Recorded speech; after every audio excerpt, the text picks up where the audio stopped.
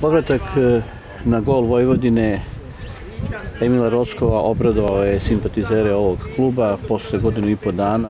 Kao što sam već rekao, pomoći da, da se situacija koja se desila, nažalost, sa Simićem, ovaj, uspeti da rešim e, mojim, mojim dolaskom jel tako, na pozajmicu dok se on oporavi, e, što ujedno znači da ću svoj oporavak, odnosno svoj povratak na gol i, i sticanje e, samopouzdanja i broja utakmica moći da, da, da pokupim u Vojvodini.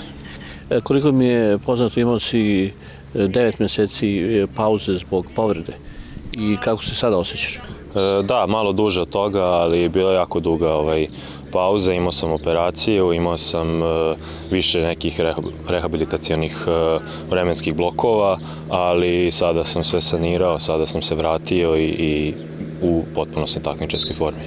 Imao si evo, i prilike na ovim pripremama da braniš. E, da li je po tom mišljenju ta pauza ostavila trag? Mislim da ne, ovaj, jedino, jedino što Jedino što možda mogu da osjećam e, to je, to je aklimatizacija na drugačiji stil igre koji se ovde igra, ali, ali što se tiče moje golmanske forme i fizičke forme generalno ne osjećam nikakve posledice. Kako ti sada izgleda atmosfera i ova ekipa Vojvodine koja se sprema za drugi deo sezone? E, atmosfera je ovde uvek interesantna, uvek je, uvek je vesela družina i uvek, uvek je drugarstvo u prvom planu, tako da e, to je nešto što moramo da iskoristimo i, i, i mislim da uvek koristimo kako bi ostvarivali dobre rezultate, tako da se nadam da ćemo i drugom delu sezone to iskoristiti kao naše oružje.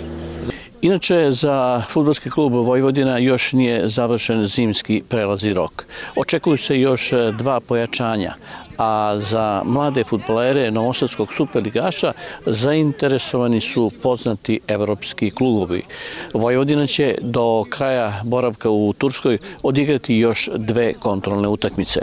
Iz Beleka za Novosadsku televiziju sa priprema futbolskog kluba Vojvodina Lazar Kuteš.